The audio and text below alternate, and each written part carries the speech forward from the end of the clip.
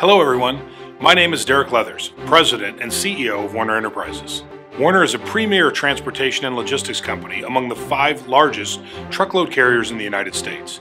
At Werner, we're proud to say that active service members, veterans, and veteran spouses comprise approximately 20% of our company's workforce. If you're watching this video, you already know what it means to serve your country.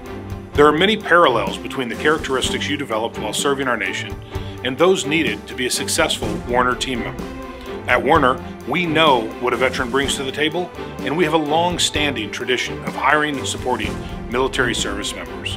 Werner has created a military friendly work environment through our Operation Freedom program, which sponsors multiple initiatives inside and outside of the organization. Operation Freedom is led by a team of military veterans who focus on military initiatives and provide a centralized point of contact for issues, connection, and assistance. We understand that without our professional drivers, our nation stops. That's why we're committed to enhancing the lives of professional drivers by reinvesting nearly $1 billion in trucks, trailers, talent, terminals, and technology in just the past few years.